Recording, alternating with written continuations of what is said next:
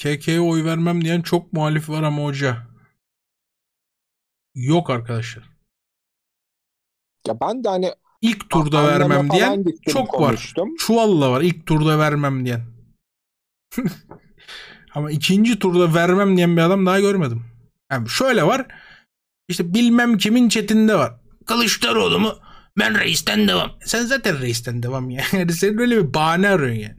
Senin reise vermeme gibi bir durumun yok zaten. Yani normal bir adam ikinci tur verir yani bilmiyorum. Bana öyle geliyor. E, muhalifse tabii. AK Parti ise zaten ver, Recep Tayyip Erdoğan'a verir. Yani muhalif birinin ikinci turda uyanınca, ikinci turun sabahında uyanınca Kemal Kılıçdaroğlu'na oy vermeme ihtimali yok.